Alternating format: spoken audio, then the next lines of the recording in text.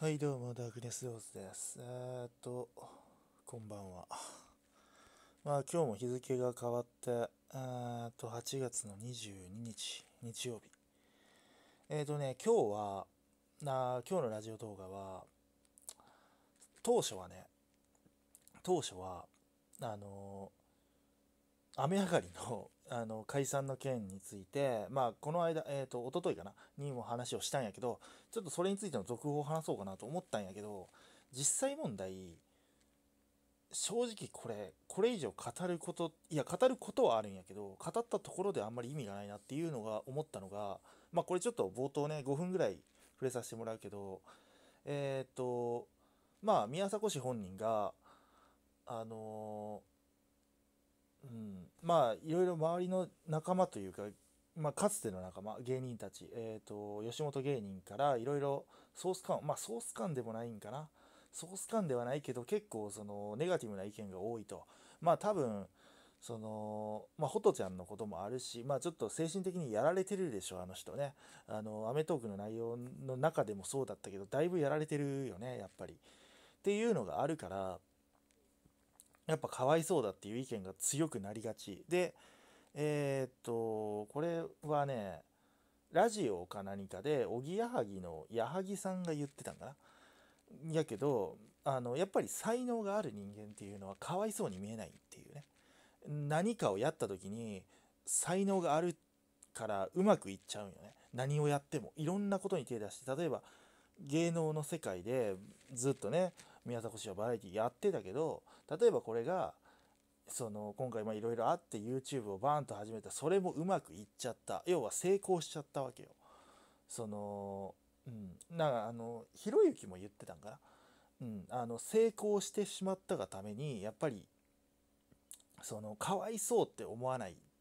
でかわいそうって思わないっていうことはそのそ一般市民にとっては話は関係ないわけよ。関係ないけどその吉本とか、まあ、テレビ関係者からするとその畑からまあ抜け出したわけよね。昔から特に吉本ってその辞めた人間に対する冷遇というかその何て言うかな他でも使わてもらえないっていうまあ少なくともテレビの世界では使わせてもらえないっていうものが昔からそうだったよ。特に昔はもっとひどかったと思う。それで要はそれってそのうちを途中でやめて不義理なことをしたらそのただじゃ済まないっていうの分かるだろうってそのネガティブなことが起こるの分かるだろう成功するわけないだろうっていうのが明確にそれがあの脅しというかそういうふうに作用してたわけよ。なぜならその吉本を辞めたりその裏切ったりするとろくなことにならない。実際えっ、ー、とねかつてで言うとあの極楽の山本さんとかまああの人はもう復帰はしてるけど10年ぐらいねあの放り出されたままだったと思うよ。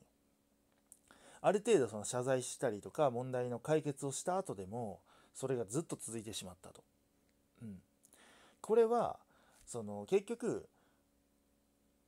その吉本の幹部に対しての嘘というかえー、っとなんかそういうことがあったらしいよね。で宮迫氏のこともそうやんか。結局そのやったことやってないことの問題じゃなくてそういうところが全部引っかかってるんよ。なぜならそれが昔からその脅しであったりとか効果を持ってたからね。でも実際宮迫氏はあの YouTube でバーンと成功してそのその元々と同じぐらいの知名度であるとかしかも新しいファン層を掴んでるわけよねそのそれがいいか悪いか別として、うん、その少なくとも営利目的で言うなら成功してるしその新しい客を掴んだっていうことであればむしろそのテレビに出続けていればおそらくこの活動とかこういう行動はできなかったことだからある意味では新しいものを手に入れた新しい世界に飛び込めたっていうそのいい見方もできるんよね。なんだけどそのそうなってしまうとかわいそうじゃないやん。で言ったら落ちてないから吉本としても拾う感じではなくなるしでしかもその昨日のラジオ動画でも昨日じゃない一昨日のラジオ動画でも言ったけどあのメディアとしたらその吉本とかとつながっとかないと情報が得られない、言ったらオールドオールドメディアだからそのオールドなそのテレビ業界とかとつながってないと言ったら YouTuber ってその事務所とかもあるけど結局個々で活動してるんよね。その個が優先される部分が強い。あのグループとかもあるけどグループもグループの個が優先されるからそいつらそいつら個々の考え方もあるしそのテレビ業界の忖度とかそういうものがまあほぼ通用しない世界観だよね。だからその彼らの影響力っていうのが通用しない世界なんよ。だからあの何、ー、て言うかな基本的にやっぱ敵なんよね敵っていうかもっと正確に言うとその吉本とか、えーと、テレビ業界とかにとってやっぱりまだ敵なんよまあ、今一緒にやろうっていう感じになってる部分もあるけどやっぱりできないよね。なんの証拠がこれなんよ。結局しかもまあもっと言ったら吉本がねやっぱ大事なお客さんなんであのそういうメディアというか新聞社テレビにとってはまあやっぱ大事なお客さんなんでそこがあのあいつはダメだって言ったら同じようにあいつはダメだって言わないとやっぱ嫌われてしまうと、うん、っていうのがまあ前提にあるよね。うん、で、うん、やっぱりそうなってくるとテレビで活動する芸人たちも同じようなリアクションをしてしまうわけよ。別に宮迫氏にそこまで悪意があるわけないんよ。なぜならこれもまあ多くのその著名人というか吉本と関係ない著名人の方が言ってたけど俺も言ってるよく言ってると思うんやけどあの宮迫氏にしても、まあ、論文の亮さんにしても他のね闇営業芸人にしても彼らが何か悪いことしたのっていう部分が正直出てこないよね。いくら考えても出てこないよ結局そのな金を受け取っただのそういう闇営業をしてたことが悪いってみたいになってるけど闇営業なんてみんなやってるんよ。そのあの事件がなって取り沙汰される前はみんなやってるんよ。結局そこに反社が関わってたから問題なんだけどそもそも反社がどうかなんて分かんないじ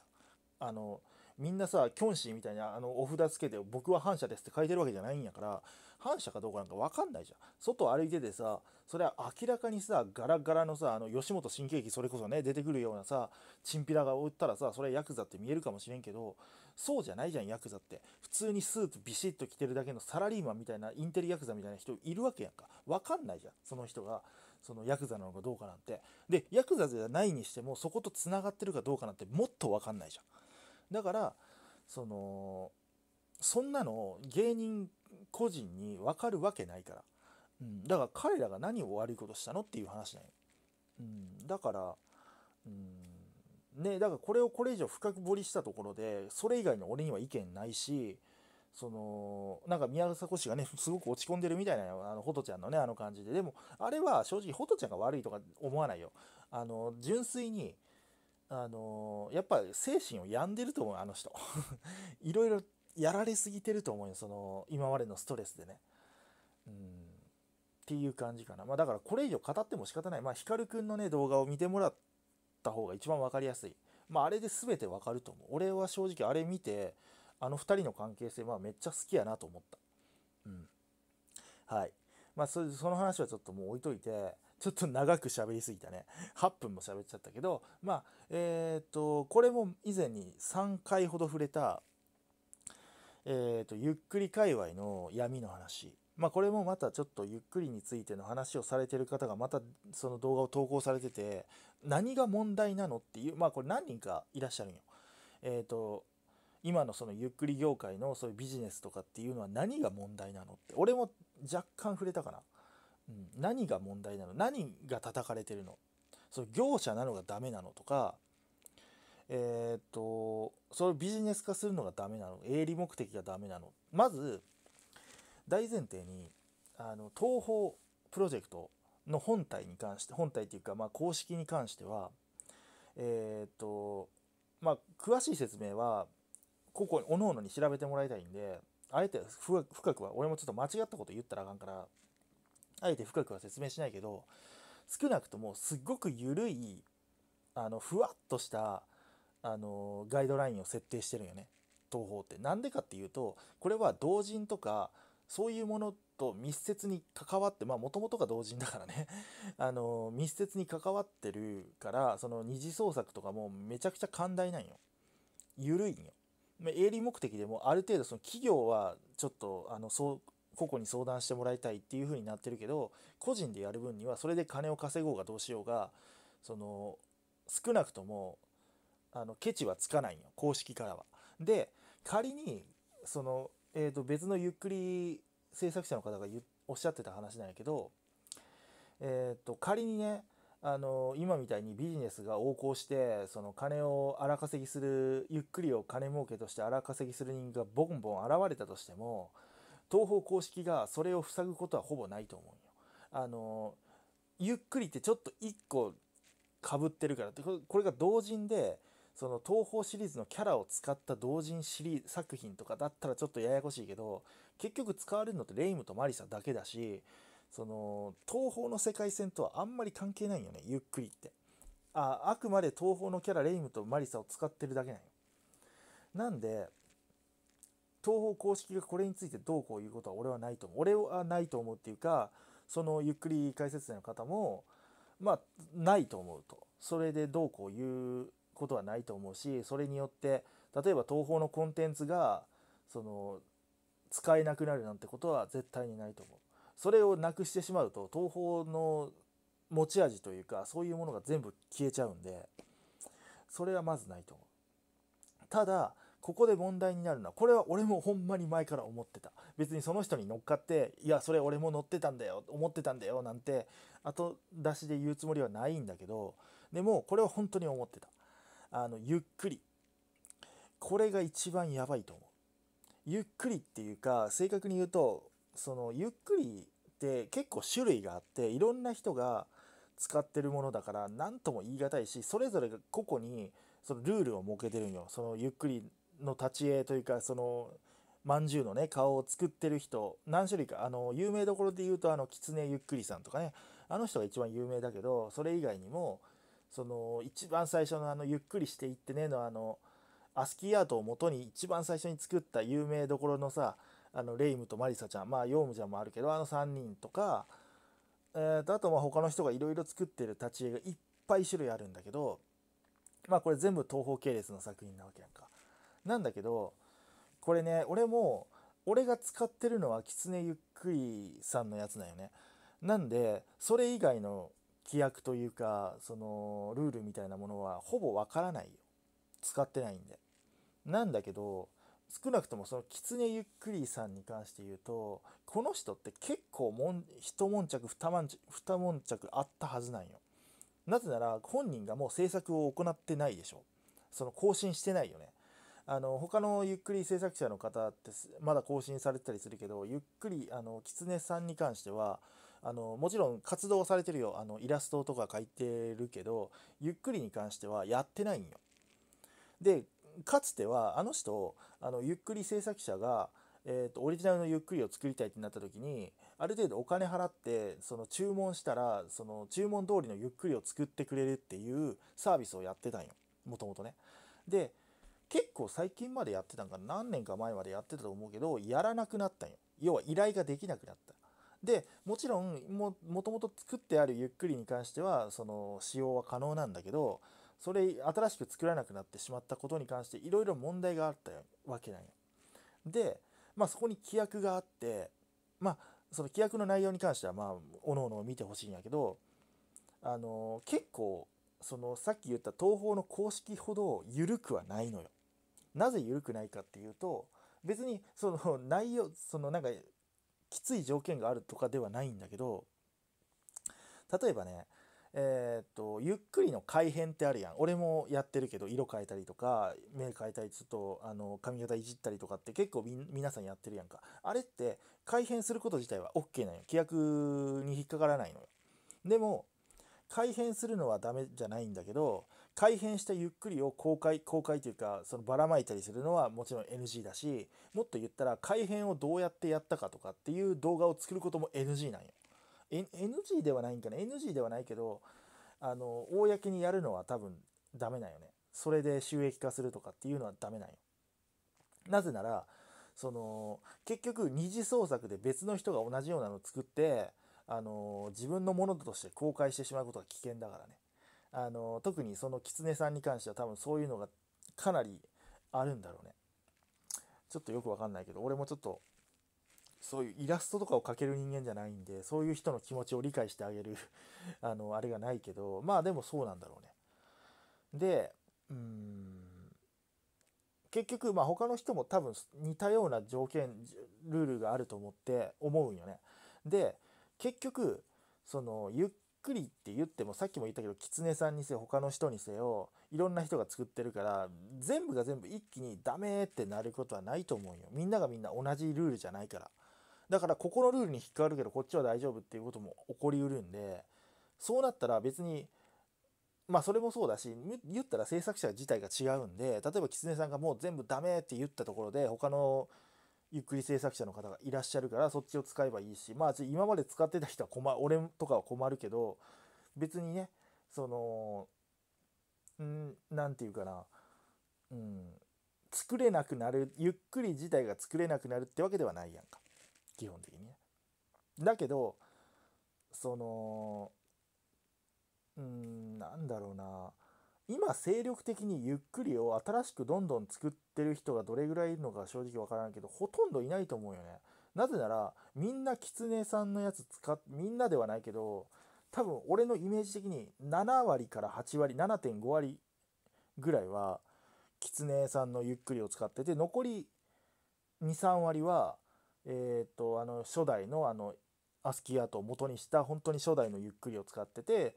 本当に残りの0.5%から1%ぐらいがそれ以外のゆっくりを使ってる方だと思うよね。で、キツネさんの中でも新キツネゆっくりって新しいバージョンあるんやけど、新しいバージョンを使ってる人ってかなり少ないんよね。ごく一部は。これね、あのゆっくりムービーメーカーで、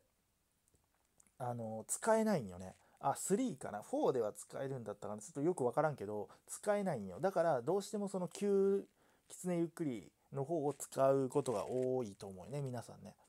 うん、だから正直それ以外のゆその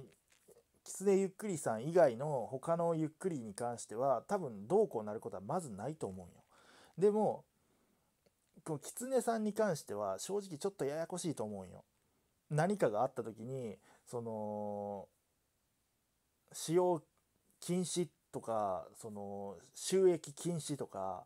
こういうことは普通に起こりうると思うんよ。あの人ねあのあんまり批判し批判する気はないんやけど別に悪いことはないんやけどただそういうちょっと危うさがあると思うんよ、うん、今後ね。なんでうんそこが一番危ないよね。でもあんまり狐さんのとこのゆっくり使ってその商業ってないような気はするんやけど正直あの初代のアスキーアートのゆっくりあれを使ってる人が多いかなと思うんやけどどっちにしても、うん、そこが問題ゆっくりが問題っていう風になってくるとそのゆっくりの制作をしてる人がそのそっぽを向く可能性が多分にあるんよね。うん、で使用禁止素材の使用禁止みたいなことになってきてでこれは俺もちょっと思うところがあってごく最近にそのゆっくりの素材ではないんやけどあの背景の素材とかの制作をされてる方がいてその人の素材を使ってたのよ俺も。でもともとは、まあ、一応ね報告っていうかその、えーと、クレジットは入れてほしいですみたいなことは書いてたけど初期段階の頃だったらまあ欲しいけどまあ忘れたりとかしてても まあまあまあまあみたいな感じではあったんよ。言ったらそのニコニコモンズってニコニコ系列のあの素材を提供してるそのサイトみたいなのがあるんやけど大きいそのいろんな人が素材をねそこにアップロードしててそれを、まあ、ある程度その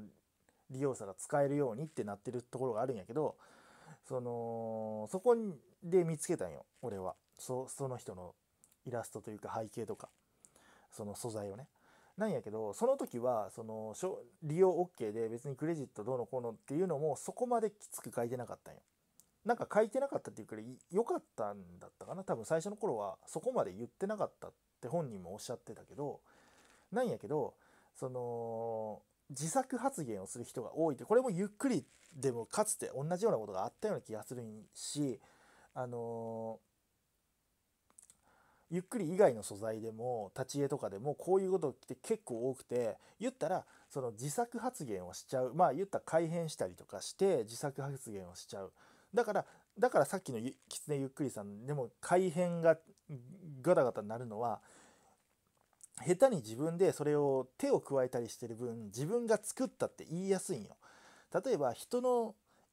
描いたイラストをさそのまま出してこれ私が描きましたとはなかなか言えないやん。でもその描いたやつを例えばトレースとかしてでちょっと変えたりして色変えたりとか髪型ちょっと変えたりとか表情ちょっと変えたりとかしてこれ私が描きましたっていうのは言いやすいんよ。なぜなら自分がちょっとデザインした部分があるから。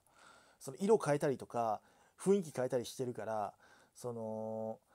完全にその人のオリジナルじゃないやん。自分が手を出した部分があるし自分が手を加えた部分があるからオリジナルだって言いやすいんよ。だからあのオリジナル発言自作発言をする人が出てくるのよ。ゆっくりでもそうだしこういうイラストとか立ち絵とかでもそうだし背景とかでもそうなんだけど色変えただけでも自分が作ったって言っちゃう人が結構いるの。だからそういうのがあるからあのクレジットを書いてくれクレジットっていうのは言ったらそのどこの素材を使ってますよっていうのを動画に書いてくださいって動画とか、まあ、あと概要欄とかに書いてくださいみたいなのがあのルールがあったりするんやけどそのルールがかなりその明確化してるらしいよ特にゆっくり。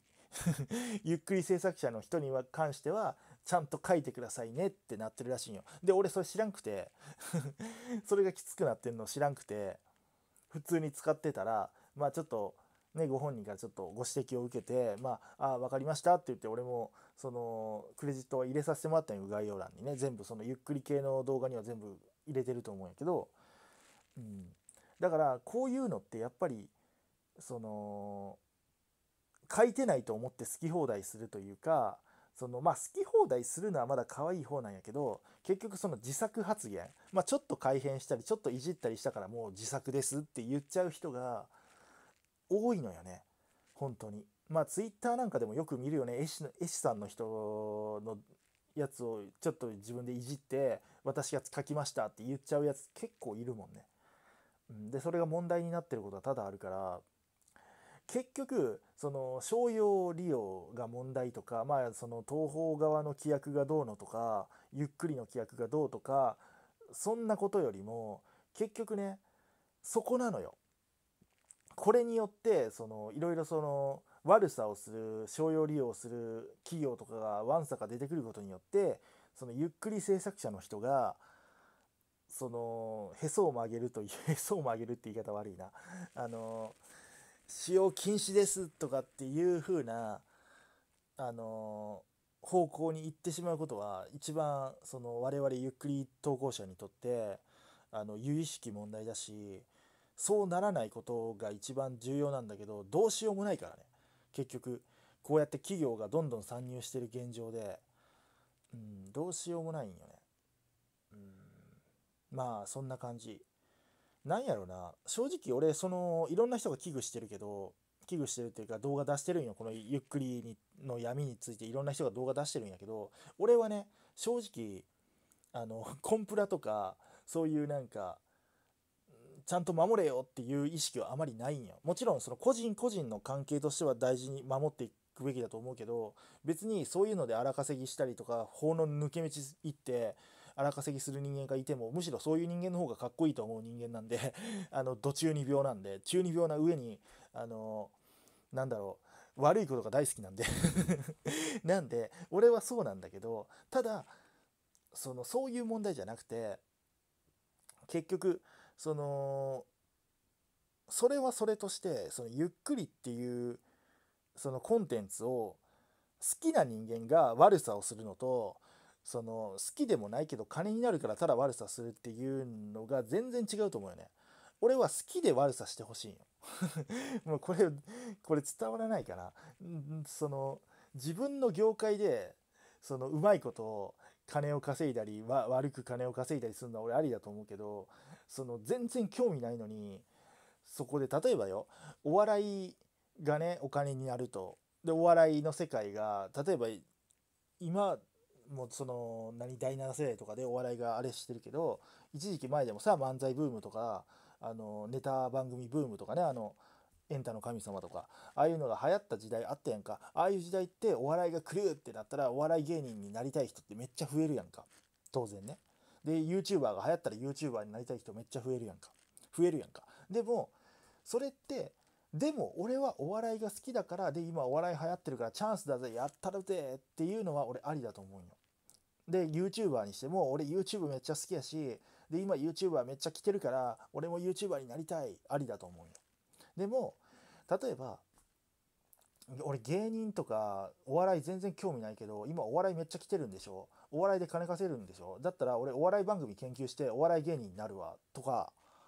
あと YouTuber めっちゃ研究して YouTuber になるわとかでも YouTube 全然興味ないんですみたいな人って結構いる場合 あの例えば YouTube で言ったらあのラファエルさんとかねあの人とか結構 YouTube 全然興味ないよあの人。もともと YouTuber 見てたけどその YouTuber っていうものに全然興味なかったよあの人。自分がなった上でも全然興味なくてただビジネスとしてそれが稼げるからってやってるんよ。だから、まあ、YouTuber とかだったらいいけどその東宝に興味ないのにゆ、まあ、東宝っていうかゆっくりに興味ないのにそこで荒稼ぎするっていうのはどうなんかなって思うよね、うん、だからそのゆっくりが使えなくなるっていうのは正直俺も怖い、うん、そうなっちゃったら俺のメインコンテンツが潰れるっていうかその俺のコンテンツが潰れるっていうのもあるけど単純にそのゆっくりの文化が潰れるのは俺嫌だもん。あの楽しんで見てるから。俺いろんなゆっくり茶番とかゆっくり解説とかど実況とか楽しんで毎日見てるからそれができなくなるとか動かなくなるそのそのコンテンツ自体がなくなってしまうっていうのは危険だと思うよね、うん、だからそれを企業が使い潰さないでくれるんならそれを使い潰さない範囲でやってくれるんだったら荒稼ぎしてもいいと思うよね、うん、俺はね。はいそんな感じでちょっと最初の 前置きのさあの雨上がりの話が長くなりすぎて めっちゃ長尺の動画になっちゃうなっちゃったんやけどまあそんな感じでえっ、ー、とダークネスローズでした。バイ。